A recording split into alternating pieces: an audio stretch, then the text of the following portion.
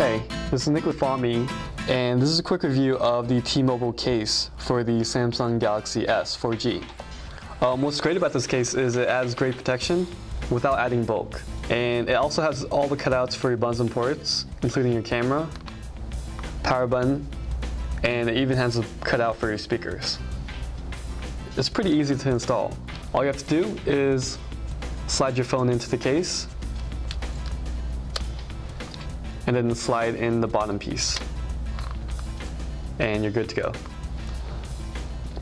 Um, the outside is made with a smooth candy shell coating and it's also a little bit flexible.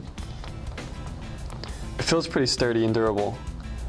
Overall, this case is pretty great for protecting your Galaxy S from damage.